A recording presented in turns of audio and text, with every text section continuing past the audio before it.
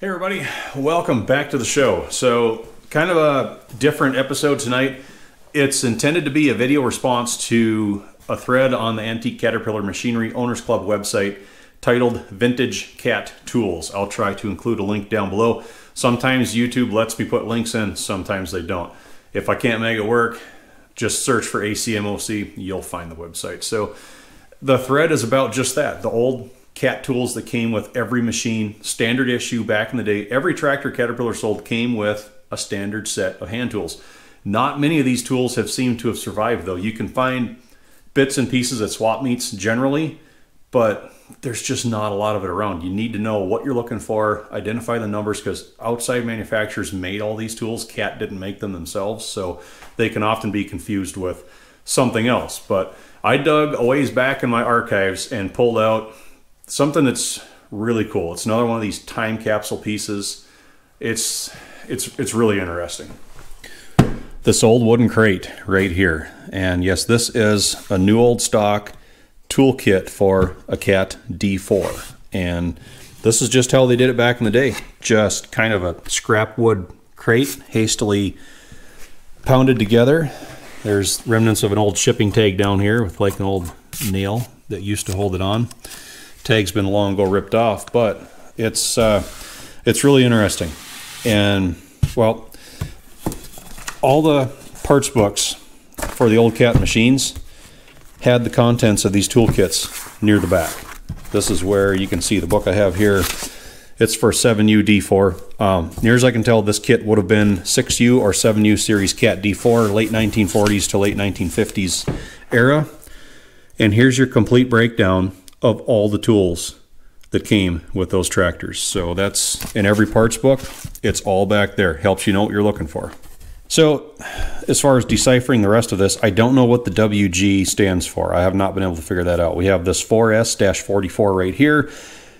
Near as I know, the only thing that had to do with Cat D4 that was 4S would have been the Cat straight dozer blade that they offered as an option. And the 44 could have been the CAT 44 hydraulic unit, which was oftentimes paired with those 4S and 4A dozer blades. That's just a guess on my part. We do see some stenciling here. It says not complete without 4B 1856. So all we need to do is look in the parts book and right down there, 4B 1856 compressor. See separate illustration, four parts. And you can see there's like a grease gun broken down here another grease gun there, another grease gun there. They had several different styles. Here we go. That's the breakdown of the volume compressors. That happens to be this right here. They were made by Alemite. You can see Alemite volume pump, model 6521, matching tag on top. That was not new old stock, but that's a rather nice representation of what these were back in the day. That's an auction find that I look at the grease on this thing. I use this. This is what I lubricate the undercarriages on all my old cats with. So you can see why that is not in the kit. It was never going to fit in the crate. But let's just, uh, let's open it up. Of course, we have the old Cosmoline paper surrounding everything. Just gently fold these flaps back. And there it is in all its glory all this stuff's brand new. It's it's never been used. It's never been out of this crate. So let's just start pulling items out. First one, look at that, it's a brush. 2B4317 and we can reference all this stuff to the parts book. 2B4317 brush right there. And looking at it, there's no manufacturer's mark on there. They just stenciled the cat part number. All we have stamped here is vulcanized in rubber, one and a half inch. So that's just the general size of the brush. And you can look at the old archive cat films on YouTube here where they're brushing off around a fuel injector to get all the dirt away before they disassemble anything. And that's what they used. I don't know how many of these just ended up being used as a paintbrush back in the day and then they were never good for the toolkit anymore. But that's one you'll probably never find anywhere, that goofy brush. Next, we've got the oil can, and this one was made by Eagle. That's an Eagle can, and guaranteed never used. I like how you can see where the handle right here, where it curls around. When you tighten the, the cup on there, you can see where they didn't get a whole lot of paint applied. Kind of up here a little bit too. It's a little bit light, but gasket's still in place and that's yeah that's just clean it's never ever had oil in it. Really cool. So reference that to the book.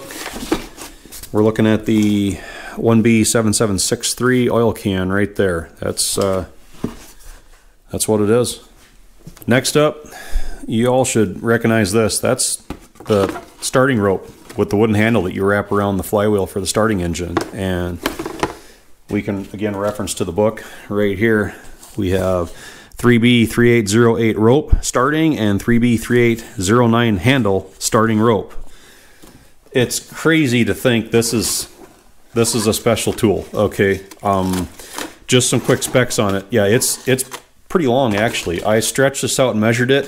The rope itself from the knot to the handle is 80 inches, 80, 80 inches long. It's about a 5 16ths woven rope, it looks a lot like clothesline rope, really. There's nothing really special about it. The handle right here, wooden handle, that's four inches wide, and it is inch and an eighth maximum diameter in the center, and each end tapers down to three quarters of an inch diameter. So if you want to make your own, those are all the pertinent specs. We'll pull this box out next. The the brush is shedding, okay? There's bristles all over this thing, but we don't have any numbers on this box, no identifiers, nothing like that. You open it up and this is the suction gun, okay? We can find it in here.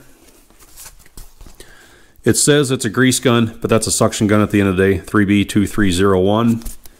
And again, it's one that's it's never been used. It's you can actually feel the air coming out. It's got a good seal on the inside yet, and yeah, it's pushing air there. So you'd put this down in an oil compartment and then pull on the handle. That sucks the oil out, and then you can go and push the handle back in again, and then that would you know push the oil back out of here. You can drain like final drives without having to remove a plug underneath, or just whatever else you'd have to do. And it's even got a good detent at the end.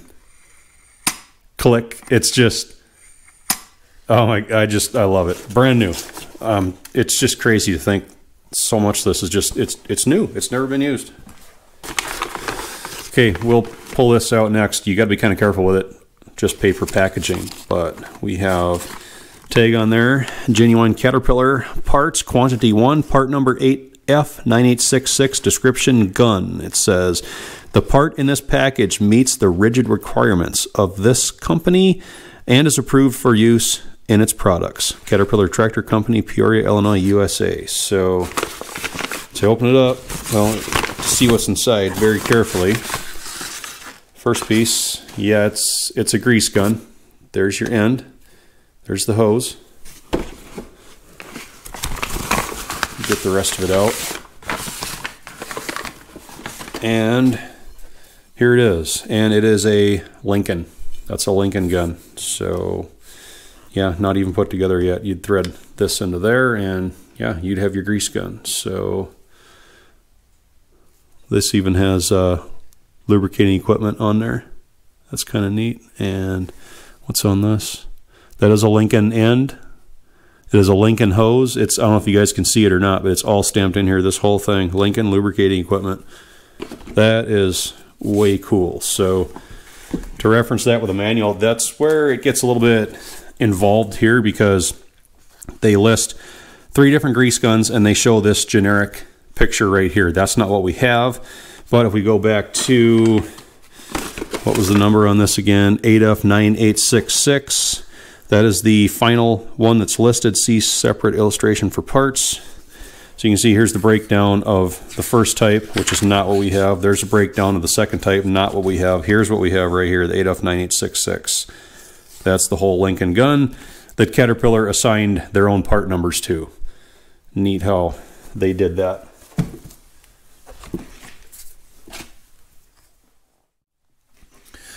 So next we have this large wrench.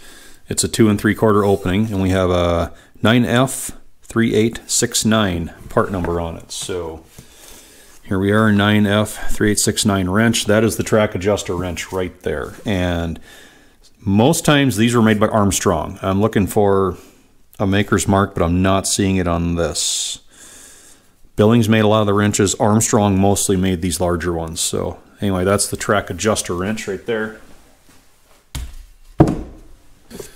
So next we have a ball peen hammer. Nothing on the handle.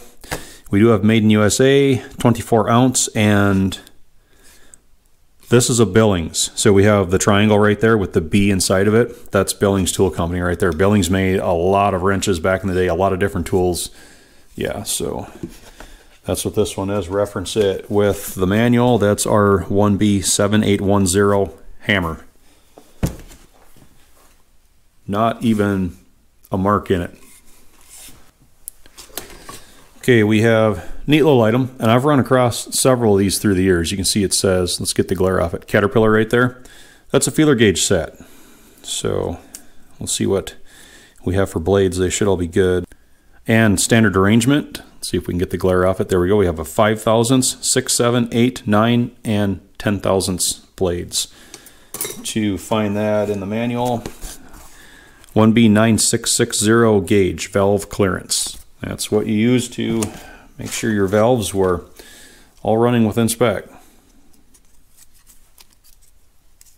Fold it all back up, nice and compact. Okay, in the corner, we've got a whole bunch of wrenches. So lay all these out so we can get a good look at them.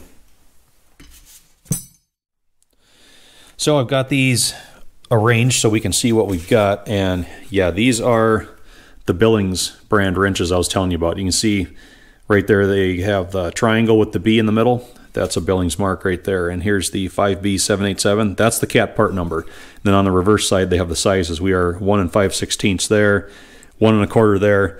And of course, these go down in size as we go on. But here's the 787. We have a 786. We have a 785. And then skips the four and it goes to 783, 782, 781, and finally the little one, 5B780. So, and that is proper for this kit. We have them listed right over here. We start 5B787, 65, We skip 4 and it goes 3, 2, 1, and then 0 with all the sizes listed next to that. So that's what would have been included in a D4 kit. Now over here, this is the complete line of billing wrenches that was made for Caterpillar. And this is the largest one. You can see we got the Billings mark again, and it's a 5B 789. This is the largest wrench that Billings made for the Caterpillar toolkits. Inch and 5 eighths on this end, inch and a half here. And even with this kit, let's get it, there we go. Get the numbers all pointed the right way, man. Even with this kit, this is the complete kit. We're not missing any sizes. They never made a 5B 788. It started at 789 and it went to 787. So there's no such thing as a 5B 788 for CAT tools. I don't know why they skipped that number, but they did. So here we got the 87, which is we pick up with the inch and 5 16ths, one and a quarter like we had there. And we 80, have the 86, 85, 4, 3, 2, 1, and the 5B 780. For some reason, and this is a 3 eighths and a 5 16ths, for some reason, the little 780 is always the hardest wrench to find. You can find these great big 789s everywhere. And it's like people like at the swap meets and stuff and on eBay and all these places, they like big wrenches, big vintage wrenches. You can pick these up for a few dollars all day long, even in good shape. If you can find this little 780, this thing is worth probably more than the rest of these wrenches combined, at least in my experience. I've always just had to pay just stupid money to get these tiny ones for some reason. And even the 81s are pretty hard to find, half inch and 7 sixteenths. So yeah, that's the complete kit. This is one I just pieced together from, you know, swap meets and just running across. I'll hit wrench tables at these places and I'll dig through if I find a Billings wrench. I, I see if it's got the 5B number on it or not. If it doesn't have the 5B number, I don't pick it up. I'm not interested. I'm just trying to put together the cat tools. But you can really tell these are awesome. They have it's like a powder coating finish on them yet, and the ends are still polished, and powder coatings inside the open ends yet. They've never been put on anything. So very nice set of wrenches right there. All right, got the kit placed back up here. One other thing I should have said, I forgot until now. Armstrong also made these 5B series wrenches with the same numbering and same sizes. So if you find Armstrong wrenches that have these 5B numbers, those are authentic cat tools as well. Sorry I forgot that last time. So, well, we have a screwdriver here. It just says Irwin 300 6 inch, made in US of A. We don't have a cat part number on this anywhere. But referencing to the book, we have 1B7973 screwdriver right there in the middle. Take the next one out here. You can see it looks like about a three quarter end on it and it's uh, it's got a universal joint in it, L-shaped handle. We have 3B3850 and 3B3850 wrench, flywheel clutch adjusting. That's what that one's all about. Next one, 9 16 end on it, and we just have just this generic bent handle. I don't see any stampings on this, but that's the L2303 wrench, 9 16 hex. We have this, it's just three quarter bar stock, just with a 90 on the end. There's no stampings on it. Once again, reference it to the manual though. That's the 9F2354 wrench. No idea who made that one. So we've got the pinch bar, pry bar, whatever you want to call it. And let's see what we have. That says Dasco 542A. So again, one that's never been used pristine on both ends. That's actually rather sharp. You gotta you gotta be careful. Manual once again, 542A pinch bar. Okay, up here we have basically four different sizes of spark plug sockets and each one has a handle. I haven't been able to find, well I, should, I shouldn't say that, one of them has some stampings on right here. That's the, it's so faint it's hard to see, but they're listed in here. We have 3B1285 wrench with a 7 8 and 15 16 hex and in a 3563A. That's what this one is, 3563A right there. That's the 15 16 and 1 and an 8 hex. So, and a handle for each one. Now we have this rather odd looking little wrench with these kind of round edged socket openings on each end. Uh, this is for the bleeder screws right here and there's no stampings on this one, but it is the 8B6975 wrench fuel pump vent screw. We're getting down to it. This one right here, again, looks like about a 9 16 no stampings, but that's looking like the 5F9322 wrench right there. This one now has always kind of baffled me. That's a 3H2727, definitely a cat number. That's inch and an eighth end on it.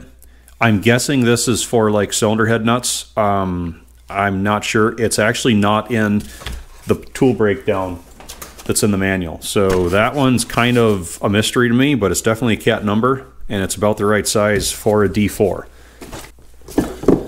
Here's another interesting wrench. Now this one is definitely a D4 wrench. It's not in the 7U series book, but I found it in the 4G series uh, D4 or early RD4 book as well. So you go back here and it's listed right here, 1A665 wrench for track shoe nut.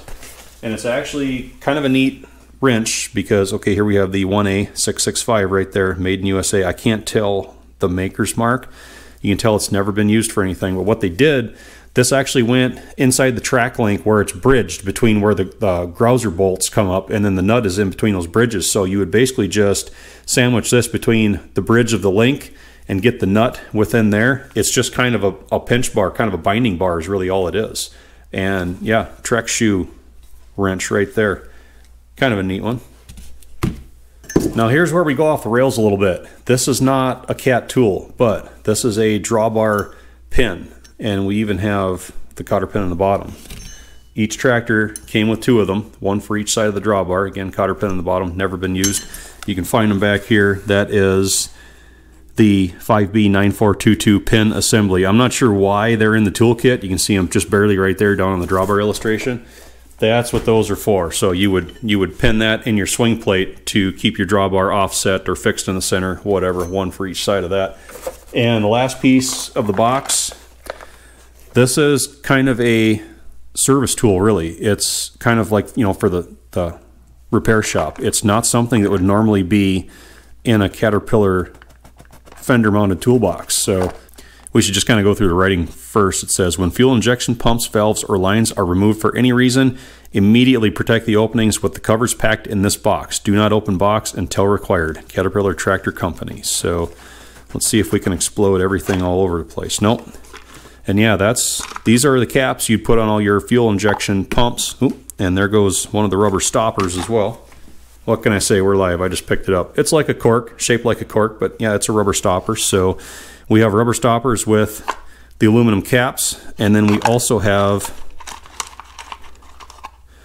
we have these which would go in the fuel injection lines themselves. So you can keep your lines clean, you can keep them all plugged up, you can keep your injectors clean, return ports, pressure ports, full little service set right there of all the plugs you need to work on your fuel system and keep all the dirt out. So that's the breakdown of the NOS Caterpillar D4 toolkit. Definitely some interesting items in here that I've never seen anywhere else, like this brush. It's like, how many people kept this brush? How many have you ever seen that had a cat part number on handle? I mean, I've never run across any. Or this oil can. That's just an Eagle oil can. There's tons of these things around. Once they got beat up and dinged a little bit and used for a few years, you'd never know that came with the D4. You know, the, the starting engine rope with the wooden handle. Those are all gone. This has no identifiers on at all. You'd you know you'd never know that was from a D4 kit. Lincoln grease guns are all over. Billings hammers are all over. Irwin screwdrivers are all over. You know some of the stuff really can't definitively be tied back to Caterpillar, but it was all part of that kit. Like I said, Cat didn't make all the tools in those kits you know, they just let other people supply them. So that's my contribution to the Vintage Cat Tools thread on the ACMOC bulletin board right now. Hopefully the link works. If not, it should be pretty easy to find. Hope you all enjoyed, well, just kind of unboxing the kit, having a good time, looking at all kind of neat stuff, and hope to see you back again.